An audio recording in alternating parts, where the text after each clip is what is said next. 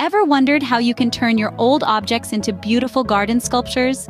It's all about the art of repurposing, a journey that combines environmental sustainability with a unique aesthetic appeal. Channel your creativity and let's dive into the process. Start by gathering your materials. Think old furniture, kitchen utensils, even broken ceramics. The world is your oyster when it comes to creating your garden sculpture.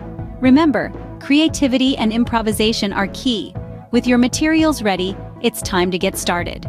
Now comes the fun part, building your masterpiece.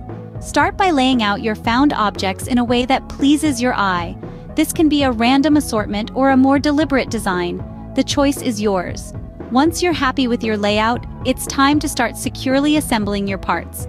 This could involve a variety of techniques such as welding, gluing, or tying, depending on your objects and tools at hand. Next, You'll want to select the perfect location for your sculpture.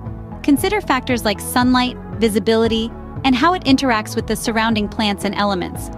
Remember, your sculpture is a part of the garden, not apart from it. Lastly, let's talk about maintenance. Your sculpture, like your garden, will need a little love and care.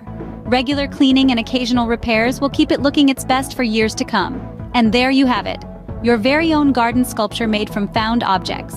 Creating garden sculptures from found objects is not just about beautifying your space, it's also about making a positive impact on our environment. By repurposing items that would otherwise end up in landfills, we are contributing to a healthier planet. Furthermore, this activity provides a wonderful platform to unleash your creativity and express your unique style. Remember to give this video a like if you found it helpful, and subscribe to our channel for more gardening tips and tricks. Until next time, keep embracing your inner artist.